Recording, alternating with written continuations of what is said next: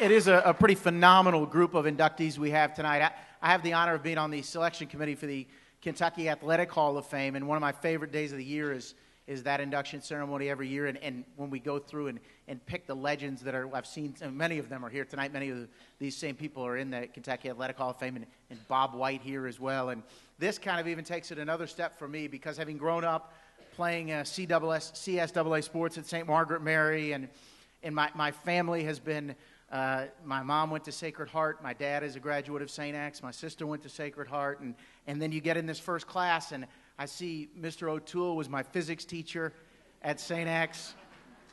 Mike Silliman, the great story I always tell is that my dad and Mike Silliman led St. X to the 1962 state title. I'm not 100% sure that my dad played a minute that entire season. But I've got a picture. Uh, there's a team picture, and it's up at St. X, and he's in it. So I could, I could make that claim. And then, of course, Will Wolford, who's become a good friend over the years, too. So cool to see him. I'm glad you finally made it, Will.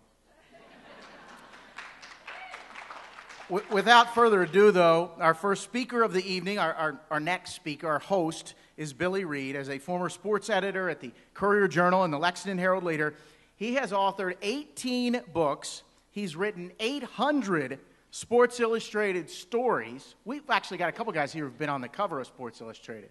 Will, you've got that great picture. I've got one of those framed.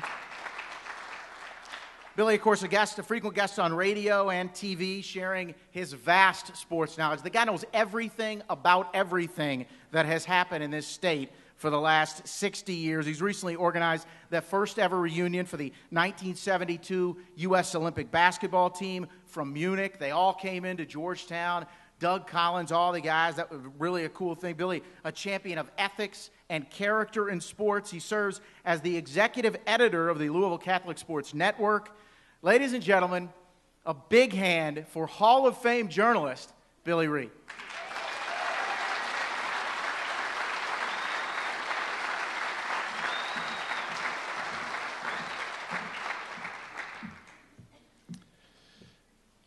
I have uh, three uh, duties here tonight, and one is uh, to talk about um, Catholic Sports Network. Uh, you know, as I look out here tonight and see this group, I can't help but think about uh, it was just a couple of summers ago when I got a call from this guy named Steve Fader, who I didn't know from Adam, and uh, we met at Mitchell Seafood, and he said, "I've got this idea," and I liked it, and that's all we had at that time, though, was an idea.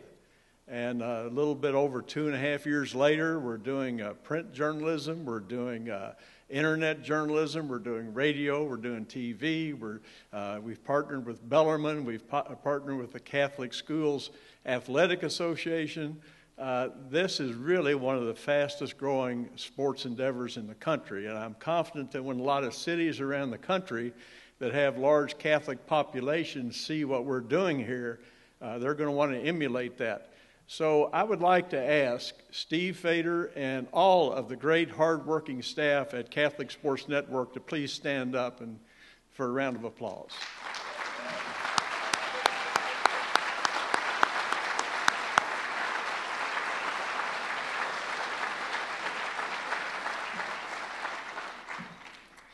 Now, our 13 inductees, uh, some of you uh, uh, people in the audience who are close to my age might remember uh, the old Ralph Edwards TV show, This Is Your Life. And that's exactly what I feel about these inductees. Going back to when I was a young guy, wasn't even 10 years old, and went to Crosley Field and saw Gus Bell hit a home run for the Reds. And the very first college football game I ever saw in person, Howard Schnellenberger caught a pass from uh, Bob Hardy. Uh, and, and on up into uh, uh, my dear friend Mike Silliman, who uh, I covered when St. X won the state championship in 1962.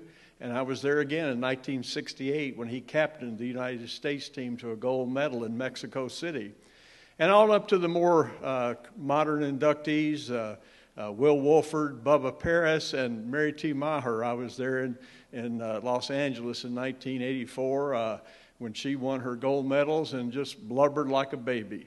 Uh, people have asked me what's the greatest accomplishment ever, and I just can't think of anything higher uh, than representing our nation and winning a gold medal in the Olympics. But two things about this group that, that I'm really proud of. First of all, obviously, we've got such a we have uh, Super Bowl champions, a Heisman Trophy winner, a national championship football coach, a winner of a major uh, uh, golf championship, uh, Olympic gold medalist, uh, a fellow who played in the World Series. But in addition to honoring uh, those individuals, we also have, are honoring those who stayed here at home and worked with our young people and developed young people. Uh, Marty O'Toole, who I think has now won a zillion straight championships at St. X, isn't that right? A zillion plus. Uh, but uh, Carl Schmidt Sr. and Father Tom Gentile and Bunny Dougherty and so many who have uh, had such a great impact uh, on our society.